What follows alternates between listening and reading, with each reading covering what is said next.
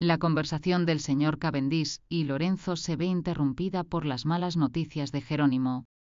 Jerónimo informa de un problema con la persona que suministrará las armas y enfatiza que necesitan encontrar un nuevo proveedor de inmediato. Esta inesperada noticia sorprende al señor Cavendish y a Lorenzo y trastoca sus planes. Lorenzo interviene rápidamente en la situación y está a punto de resolver el problema de Cavendish dando su primer paso en el negocio de las armas.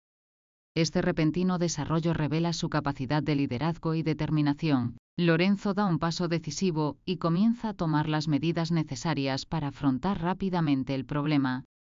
El ser Cavendish queda impresionado por la rápida y eficaz intervención de Lorenzo y aumenta su confianza en sus habilidades de liderazgo.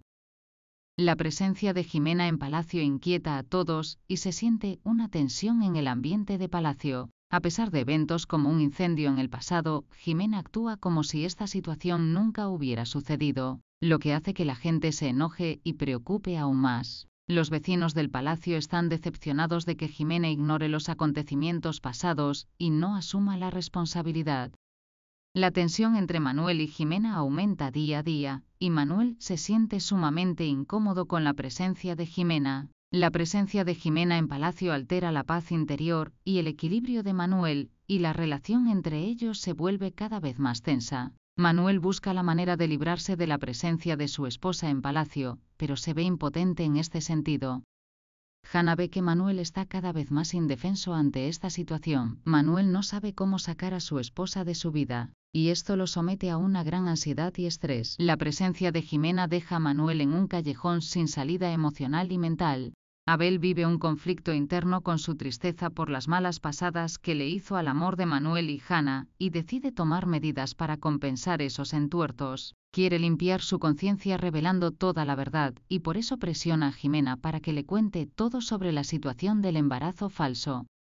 Esta decisión demuestra que Abel está experimentando una transformación interna y está tomando medidas para compensar sus errores del pasado, quiere aliviar el remordimiento que siente por las malas pasadas que le hizo al amor de Manuel y Hanna y elegir el camino de la honestidad. Salvador obtiene permiso de Rómulo para preparar una ceremonia de boda secreta para María Fernández y para él. Esto incluirá a Lope quien pronto se dará cuenta de que esto podría ser un terrible error, ajena a los planes de la prometida de Salvador, María finalmente decide contarle a Hannah su gran secreto, pero el maletín que contenía el dinero ha desaparecido.